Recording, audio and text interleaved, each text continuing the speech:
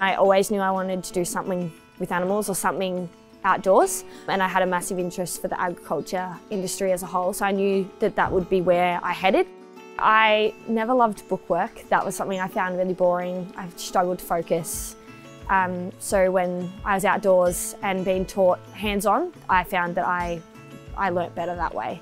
Because the school that I was at provided an agriculture study, um, that was where I found my interest. So I knew that I didn't obviously like the bookwork or it being in the classroom, so I chose that as an, a subject and that's where I found my, my interest and that definitely helped me get into the industry as well. You don't need any experience to get in at all. So I wasn't nervous coming into the job after I'd spoken with TBA and I'd had contact with Sam and Barry here at the stud, they made it super easy and super welcoming for me to kind of get involved straight away.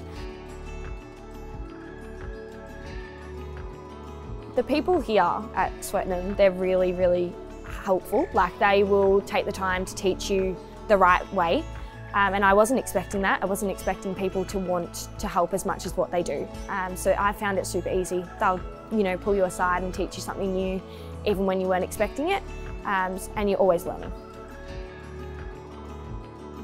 There's opportunities to obviously um, stay here if, I, uh, if that's offered to me after my program. The things I'd say to younger people wanting to get into the industry would be just take the leap and, and put the application in. Just to give it a go. There's no harm in applying, there's no harm in asking questions. Hi, I'm Audrey. I'm a stud hand here at Swettenham Stud in Nagambie.